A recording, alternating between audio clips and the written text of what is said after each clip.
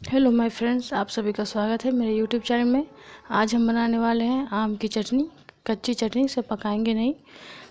तो मैंने लिए हैं दो मैंगो कच्ची है। और इसमें हम डालेंगे ये नमक स्वाद अनुसार हरी मिर्च और लहसुन। लहसुन की तीन से चार टुकड़ी है और मिर्ची अपने अनुसार डाल लें और नमक स्वाद के अनुसार। तो चलिए हम मैंगो को छील लेते हैं पहले। इसकी इसे काट कर निकाल देंगे। फिर इसको हम छिल लेंगे। तो देखिए मैंने इसे छील कर काट कर डायरेक्ट मिक्सी जार में डाल लिया है।